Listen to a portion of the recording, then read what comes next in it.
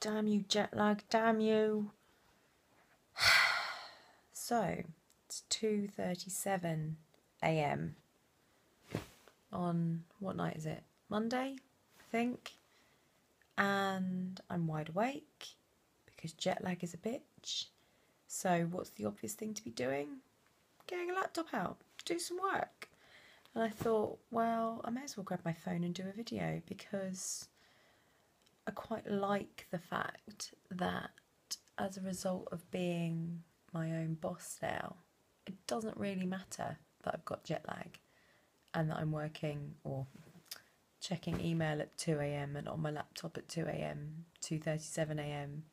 because I don't have to set my alarm, which is very cool. I quite like that. It's very flexible. I can just stay in bed tomorrow to catch up on sleep. It's not ideal. I would much rather be asleep right now. I like getting up early. But this business enables you to travel a lot, and sometimes with travel comes jet lag. So it's something I'm very grateful for that I don't have to set an alarm in the morning because six months ago I went on a trip to not quite six months ago, I went on a trip to Jersey for the Momentum Day over in New Jersey, and I went back to work on the Monday, and I was knackered because I had to set my alarm with jet lag, and that's not fun. But being wired at 2:30 in the morning on a Monday, grabbing my laptop, opening it up, doing some work to occupy myself doesn't matter because I don't have to set an alarm anymore, which is very cool.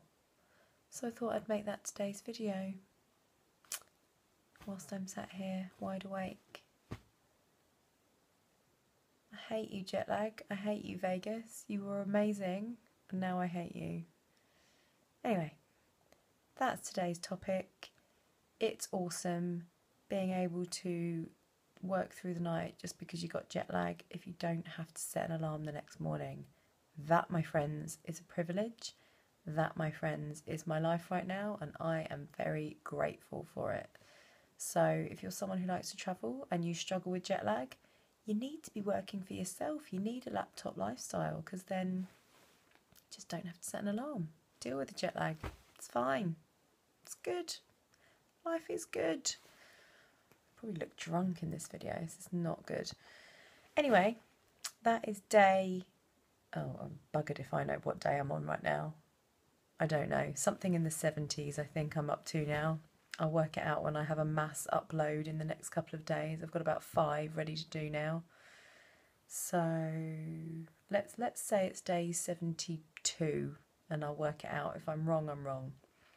So I'll see you in day 73 If you haven't already, subscribe to the, to the channel down here somewhere if you're watching this on YouTube.